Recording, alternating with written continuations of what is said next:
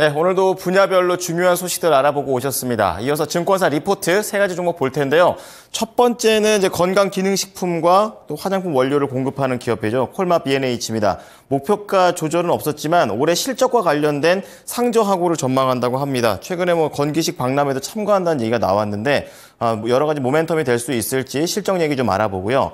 탑 머티리얼 보겠습니다. 아, 2차 전지 소부장 기업이죠. 최근에 9만 8천 원에서 5만 1천 원까지 좀 내려와 있습니다. 다시 한번 아쉬웠던 1분기 이후의 모멘텀으로 아, 과거의 영광을 돌릴 수 있을지 알아보고요. 마지막으로 AI 쪽에서 한글과 컴퓨터가 되겠습니다. 최근에 뭐 정부와 MOU 얘기들도 있었고 자회사가 M&A를 통해서 기업의 그런 체질을 AI로 바꾸기 위한 노력들을 이어가고 있다고 하는데요. 자세한 내용들 알아보겠습니다. 어떻습니까?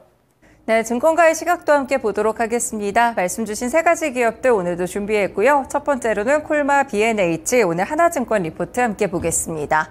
일단 2분기 영업이익은 91억 원으로 전년 대비 8.6% 감소할 것으로 추정되는데 1분기와 유사한 실적입니다. 상반기까지는 고정비에 대한 부담이 여전히 상존할 것으로 보고 있는데요. 해외 매출 성장세는 동남아 지역을 중심으로 지속될 것으로 보이고요. 중국도 이 강소콜마의 로컬 고객사 확보에 기인해서 매출을 견 인하고 있습니다. 지금 원재료 상승세의 둔화가 좀 시작되고 있는데요. 세종의 3공장 가동률이 점진적으로 상승하면서 고정비 증가에 대한 부담들을 어느 정도 털어낼 수 있을 것으로 봅니다. 대형 고객사의 수주도 확보한 것으로 보이고 있는데 앞으로 애터미의 영업 활동도 본격화될 예정이고요. 하반기부터는 회복이 가시화되고 있기 때문에 올해 실적 흐름에 대해서 상저하고를 전망하고 있습니다. 목표가는 오늘 3만 7천 원 유지했고요. 관련 차트도 함께 보겠습니다. 네, 최근 흐름들을 보시면 콜마 B&H 한번 하락했다가 5월까지 다시 한번 반등이 이뤄지기도 했었는데요. 약간 중가가 어느 정도의 하단을 잡고 움직이는 모습들이 펼쳐지고 있습니다. 관련된 리포트의 영향도 체크해 보시면 좋겠습니다.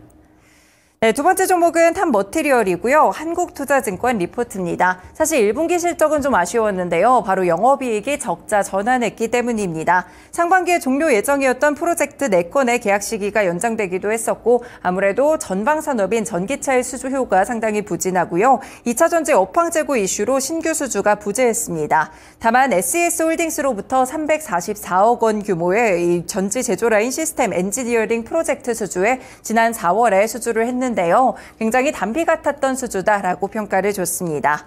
앞으로는 LFP 양극재에 대한 양산을 앞두고 있는데 이를 통해서 연평균 8% 이상 성장하고 있는 ESS 배터리 시장을 공략할 것으로 보입니다. ESS용 배터리는 대부분이 LFP로 전망되기 때문에 시장 진입이 용이한데요. 내년 양산을 시작할 텐데 현재 계획으로는 국내 경쟁사들보다 빠르다고 합니다.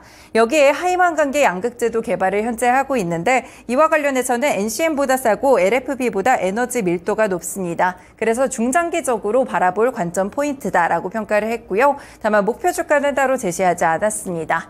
네, 탑 머티리얼 함께 보겠습니다. 역시나 2차 전지 종목이기 때문에 2월에 한번 급등한 것을 제외하고는 꾸준하게 조정 구간에 좀 들어간 모습인데요. 다만 이렇게 다시 한번 수주 모멘텀들이 발생하고 있고 이뿐 아니라 앞으로의 신사업도 개발하고 있다고 하니까요. 이런 부분들 주목해 보시면 되겠습니다.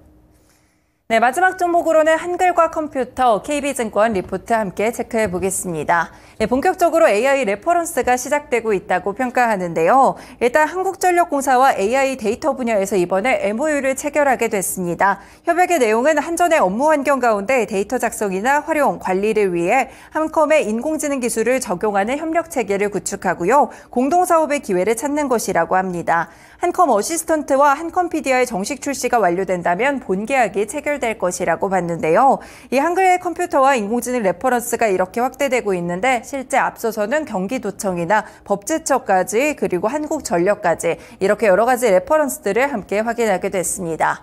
특히나 클라우드나 AI 부분을 보시면 마진율이 상당히 높기 때문에 매출과 수익률 둘 다 끌어올릴 수 있을 것이라는 분석인데요. 신규 사업의 고성장세나 사업 구조의 개편을 감안했을 때 현재 주가 수준은 저평가다라고 봤습니다. 목표 주가 따로 제시하지 않았고요. 한글과 컴퓨터도 보겠습니다.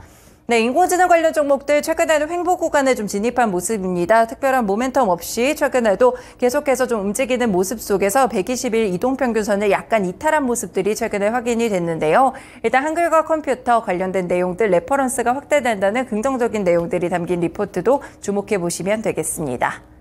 네, 이렇게 개장 전에 중요한 리포트 세 가지 봤습니다. 모닝 리포트였습니다.